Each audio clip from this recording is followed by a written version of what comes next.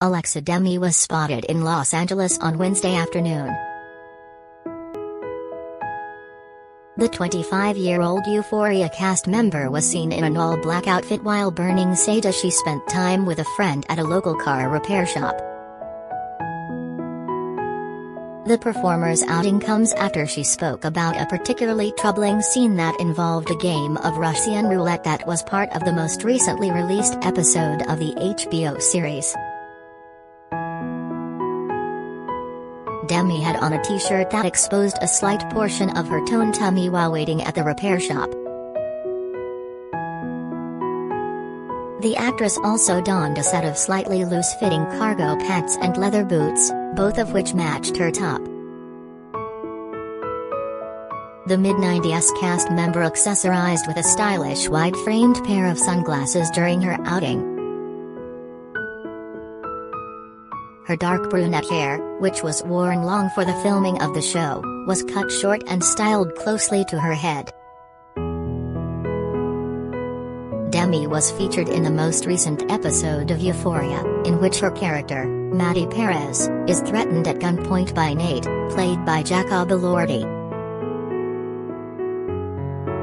The character, seeking to protect his future at his family's business, forces Perez to hand over a tape of his father, Cal, and classmate Jules having sex.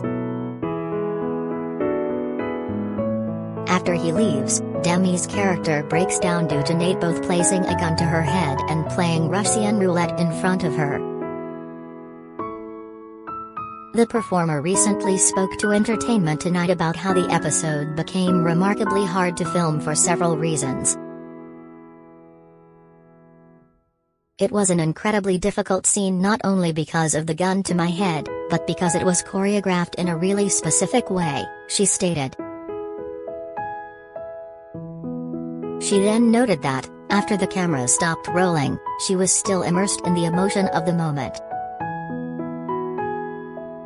am definitely not the type of actor that can just break a scene like that and start laughing and joking.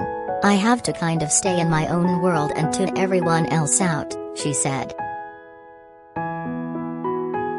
Demie went on to discuss what was going through her character's head while being faced with potentially deadly advances.